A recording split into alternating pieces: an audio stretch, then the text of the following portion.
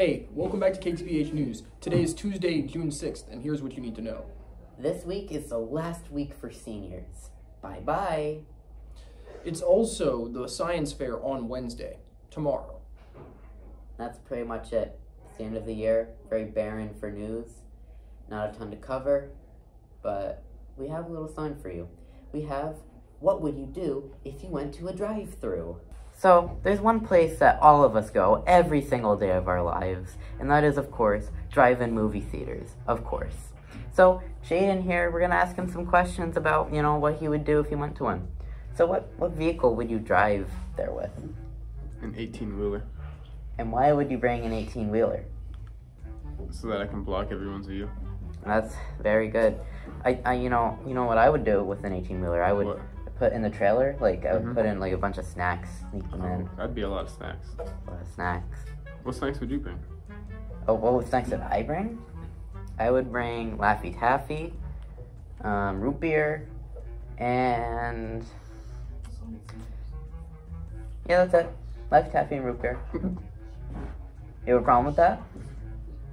No. Hello, Amina. What's up? Who would you bring if you went to a drive-through movie theater?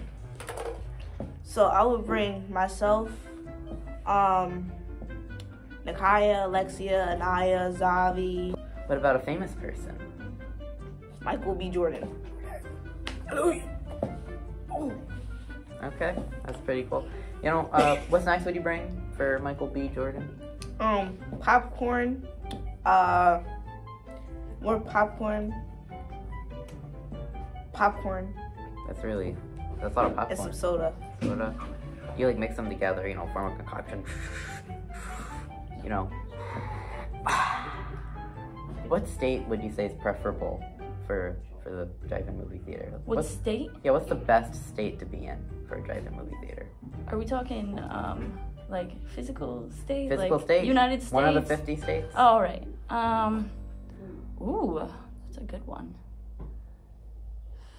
Well, I I would actually say somewhere up in the Northeast because you got to think about bugs, right? Um, and also you don't want to be down south because that'd be really hot. and Nobody wants to be out watching a movie when it's 104 degrees. In your car. Yeah, but You're using gasoline the whole time. What was the first name of the person who invented the drive-in movie theater? I have no idea. Do you know that, James? No, I don't. all right, excellent. Hello. You ever play basketball? Me neither. But we have some basketballs here, and we're gonna see how good people can throw them into garbage cans. Uh, are, would you say you're good at basketball? Uh, absolutely. I have a state championship under my belt.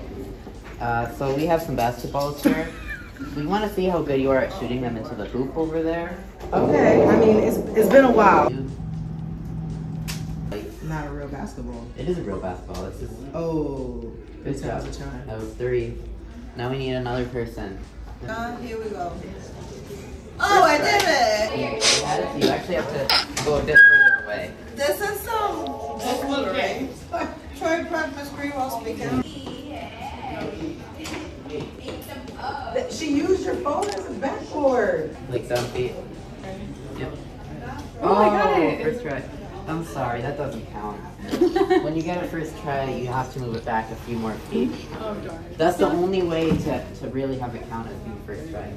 Oh, I got it. Good job, Mr. Geiger. Thank you, James.